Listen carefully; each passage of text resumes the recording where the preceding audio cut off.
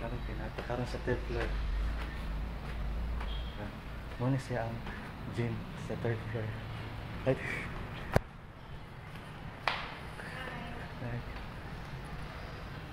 Daghan na lagi na.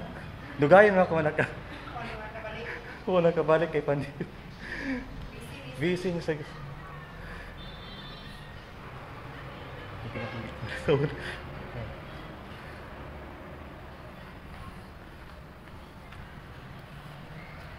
Pila ra tay kuan ninyo sa una, mao ra gyapon for One, 700 ang monthly A month?